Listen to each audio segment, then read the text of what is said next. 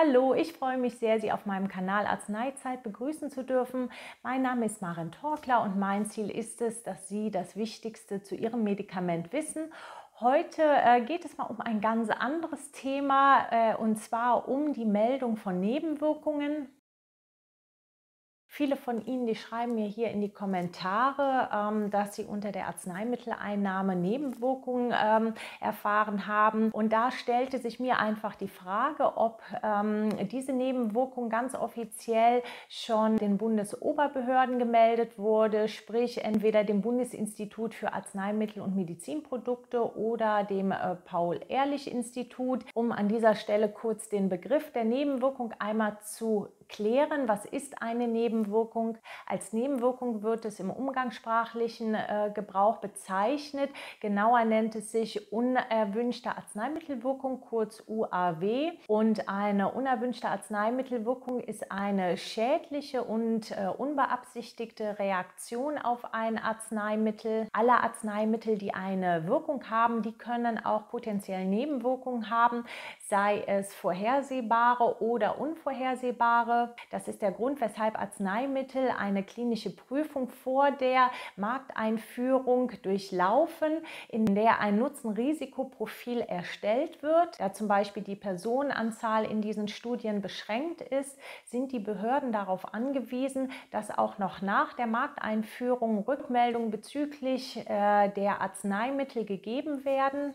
Und zwar gilt das sowohl für bekannte als auch für unbekannte Nebenwirkungen. Deshalb ist es schon häufiger vorgekommen, dass äh, nach der Markteinführung trotzdem Medikamente wieder zurückgezogen worden sind oder bestimmte hm, Einschränkungen zum Beispiel in der Indikation gemacht worden sind oder bestimmte äh, Warnhinweise in die offiziellen ähm, Dokumente wie den Beipackzettel oder die Fachinformation äh, übernommen worden. Wenn Sie nun so ein Symptom als Nebenwirkung haben, egal ob es jetzt etwas Bekanntes ist oder etwas Unbekanntes, was gar nicht im Beipackzettel steht, wovon Sie aber wirklich ausgehen, dass das im Zuge Ihrer Arzneimitteleinnahme aufgetreten ist, dann ähm, fragen Sie einmal nach, ob es durch den Arzt gemeldet worden ist.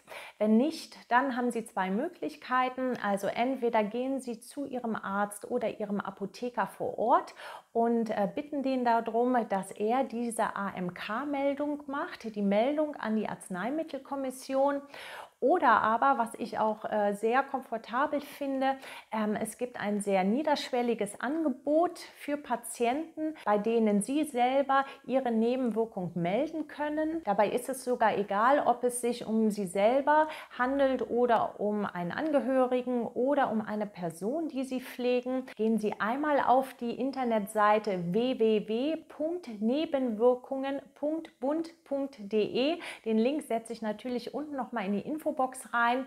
Dort gelangen Sie sofort zu diesem ähm, Meldeformular.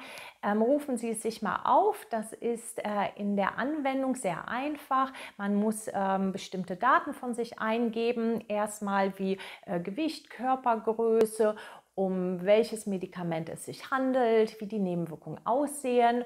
Und Sie haben dabei zwei Möglichkeiten. Das finde ich wichtig hier einmal zu erwähnen. Und zwar können Sie diese Daten anonymisiert versenden. Das bedeutet, Sie brauchen wirklich keine eigenen Daten äh, wie Name oder Adresse von sich selber reinzugeben. Sie können es aber auch nicht anonymisiert machen. Und ähm, ich würde Ihnen ans Herz legen, das Letztere zu machen. Denn wenn Sie nun eine wirklich sehr, sehr schwerwiegende eine Nebenwirkung melden, die äh, vielleicht auch noch nicht bekannt ist, dann äh, möchten die Behörden eventuell mit Ihnen Rücksprache halten, um äh, noch mehr Informationen rauszubekommen. Aber ähm, wenn Sie sagen, äh, das möchte ich nicht, dann melden Sie bitte äh, die Nebenwirkung anonymisiert. Wichtig ist, dass sie schon mal gemeldet wurde. Wenn Sie Probleme mit der Eingabe haben, dann wenden Sie sich wirklich gerne an Ihren Arzt oder Apotheker vor Ort.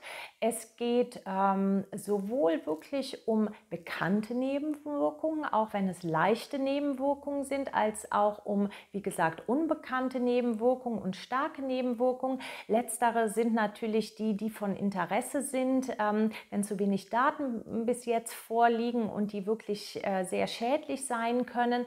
Aber trotzdem, auch wenn Sie kleinere Nebenwirkungen haben, melden Sie die bitte. Das ist wichtig, weil dann ähm, auch an der Nebenwirkungsrate in den Fachinformationen und dem Beipackzettel dadurch dann auch noch was geändert wird. Ich persönlich finde, dass diese Meldung von Verdachtsfällen zu wenig genutzt wird. Ähm, A ist sie halt nicht immer so bekannt und ähm, so im Alltag, in der Arztpraxis oder auch in der Apotheke, da fehlt natürlich äh, die Zeit, äh, viele kleine Nebenwirkungen zu melden. Die, die großen Nebenwirkungen, die werden alle in der Regel gemeldet. Ähm, ansonsten möchte ich hier jeden ermutigen, ähm, einfach mal auf diese Seite zu gehen und sich das einfach mal anzugucken, denn damit äh, tragen Sie persönlich auch zur Arzneimitteloptimierung bei. Und äh, in den Kommentaren ist mir aufgefallen, dass natürlich manche Patienten, die eine sehr starke Nebenwirkung erlitten hat, die anderen, die dieses Medikament einnehmen, davor sozusagen bewahren möchten. Also besonders die möchte ich gerade hier ansprechen, dass Sie bitte unbedingt diese Nebenwirkung melden, weil das ähm, sehr, sehr wichtig ist äh, für die Sicherheit des Arzneimittels. Und vielleicht konnte ich mit diesem Video schon so einen kleinen Teil dazu beitragen und ähm, hoffe einfach, dass Sie gesund bleiben und denken Sie immer dran, dass Glücklichsein doch die beste Medizin ist. Bis zum nächsten Mal. Tschüss.